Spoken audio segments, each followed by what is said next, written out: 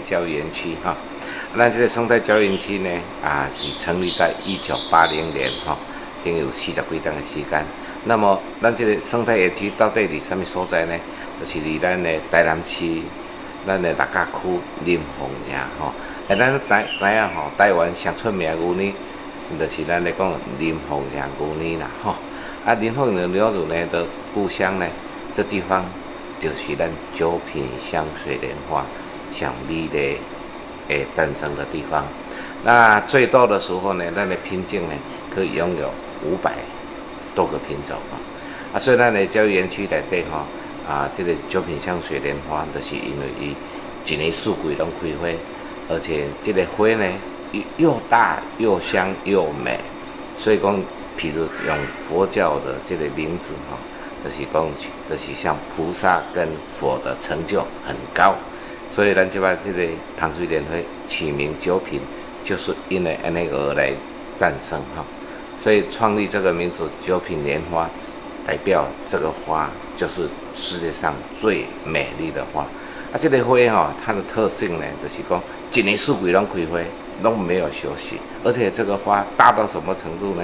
就是讲一粒花大概三十五公分，而且它颜色经过我们的研发哈，啊，我们的研发哈，啊，出来的颜色哈，青红黄蓝紫靛，什么颜色你想要心目中想要的颜色呢，拢也会呈现出来哈。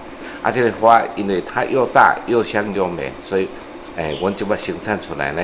除了是一个生态教育园区里外，咱无用农药，而且呢，不没有用到农药呢，所以咱 SGS 呢，啊，就非常优质的这个产品，它可以做成观赏用的，啊，那来食用的、药用的、美容保健呢，阮往这个五个方面哦，啊，去啊去做出阮的产品。啊，东西呢，结合这个科技啊，咱这产业的是要有科技，要有文化，要有艺术啊，要有很多方面的这样的一个包容哈。所以，阮这是做独特性的，非常的有创造性的，嘛非常有个性性的，非常趣味性的。啊，你也上来阮家做一个很好的体验性哈。那所有的这些东西呢，经过我们努力的这样的改变呢，大概啊，现在是啊，我们台南市。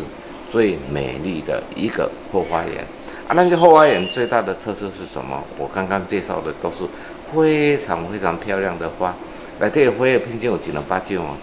但是这么努力的园丁哦，他所有的付出最让人感动的是什么？咱来咱家铁头哈，有地方啉不用钱啊！入来爱门票不？唔免门票，这类的是咱想。最温柔的，就是因为最温柔的这样的给予所有的那个啊来宾呢，所以我们组成为台南市最美丽的花园。不是讲野花水呢，人的心对这个土地，对所有来的好朋友呢，更加水。这就是咱台南人上善良、淳朴、热情的所在，所以欢迎大家有空来我们九品香水莲花来看花、啉茶哦，谢谢你。